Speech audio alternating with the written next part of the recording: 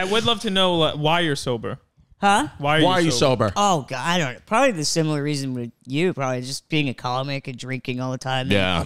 you know, falling down and hit your head on stuff and being like, "Well, that was dumb." Same, Like, I same. got- yeah, I broke my jaw last year drinking. I got this thing on my head. I fucking hit You it. fell down and broke your fucking jaw? broke my fucking jaw. Oh, there Oh it is. Oh my Absolute hell on earth. Yeah. Here we go. oh baby. there we go. This is, dude.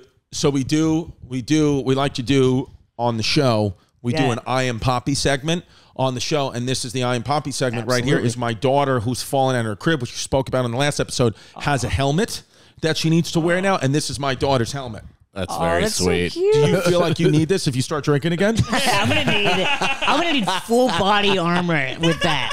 dude? I mean, first of all, Yeah. Here's the thing. Let me. T- so, so I don't even remember. I don't even remember the setup to the joke.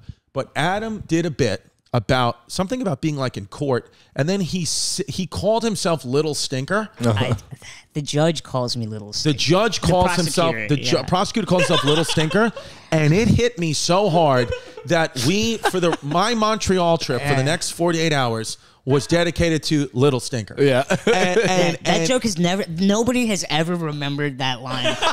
nobody. It's just like the prosecution calls little stinker to the stand, and it never does that well. But it fucking set him on fire. I, I was screaming in the It back. set him on Literally, fire. Oh I was God. dying, and, and then we started going, little stinker.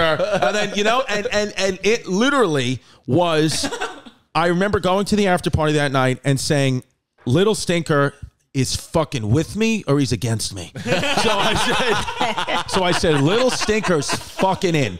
And if you come to the show at Tarrytown, which is sold out, Little Stinker will be on that. And if you come to the show at the Chicago Theater September 30th, Little Stinker will be on that because his native hometown, Chicago. Hell yeah. That's all you'll do. I I, will-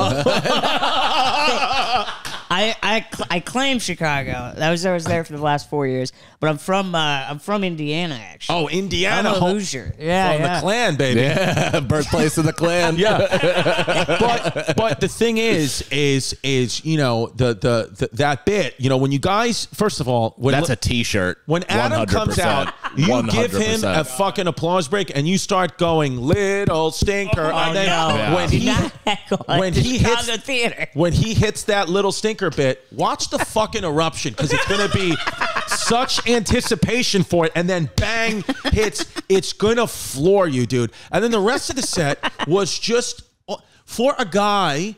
Uh, you know, Montreal new faces, is a very tough thing to do, and you just see, and you were on late in the show, like the ninth or tenth act, where the crowd was I like the agents weren't. I was up there. The agents were looking at their phone. They didn't care. And then, listen, I'm going to be honest with you. Then, because of my uproarious laughter, people started paying attention. Um, so you owe your thank you career to so me. much. No, I'm kidding. All no, right, no, I no. owe you. I'll do a joint bank account from now on. Every month, I'll give you ten percent. No, I'm kidding. I'm kidding. No, Chris Promo code stinker. No, but don't- what did you say, Pimp? That people, re- the agents, the industry really stopped and listened pretty much only to him, Sagalo, and that girl. Yeah, I- That- I agree with that. But you almost rolled off the balcony. You were going. This is the hardest I, have ever seen you laugh. No, I was literally it, it, it opened up it opened up something inside of me that has caused like a chain link of events to happen where now I actually live here. And it and it No, I'm kidding. I like the smash cut to you laughing at Little Stinker to wearing a baby helmet. Yes. and being like, I don't know how I got here. to admitting I'm slipping on the floor of my podcast studio. Me No. and Mike Cannon are both relapsed, covered in feet. Oh, dude, I would fucking love What it. happened in Montreal? I'll come here and live too, dude. yeah, dude. So so I so I remember though, it was kind of cool to have like that cathartic experience that I think comics for the most part are robbed of.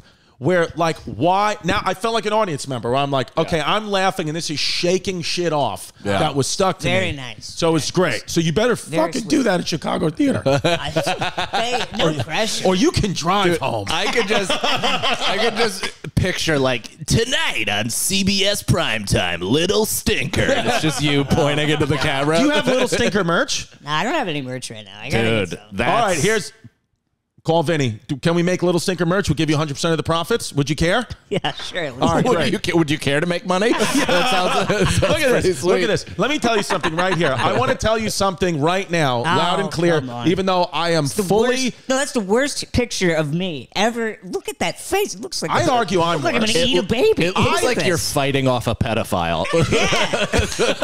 It does. Not today, gym teacher.